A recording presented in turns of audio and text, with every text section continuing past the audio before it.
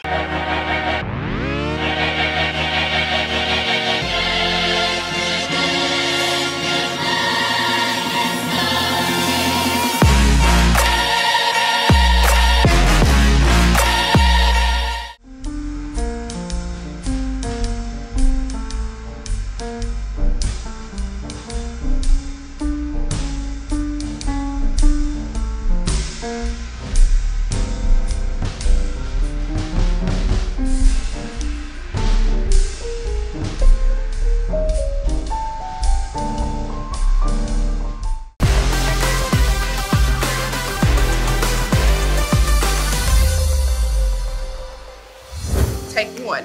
One, two, three. Action.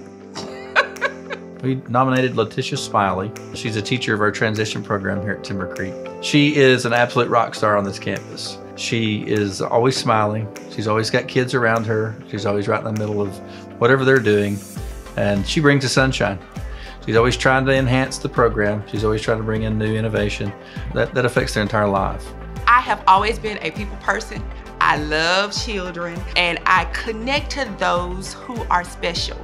And I say special and different because oftentimes people say that people with disabilities are, are different. Yes, they are different. They're special and they can actually contribute leaps and bounds to the community and to society. I wanted to allow them to shine.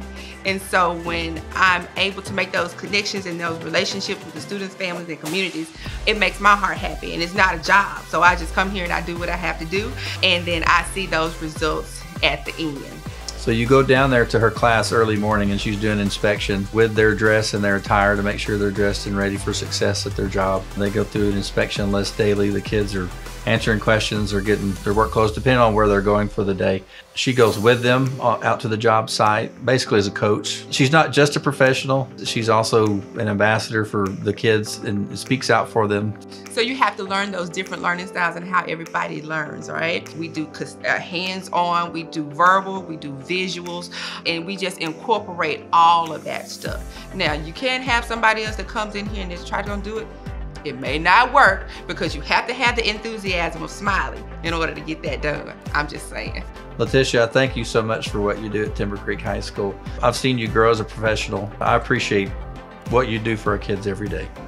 Want to take the time out to say thank you to my team. My team is the dream team. I would like to make a plea to the community. If you see this, I would be glad to have any business or community partners just so you can see what our students can give back to our community.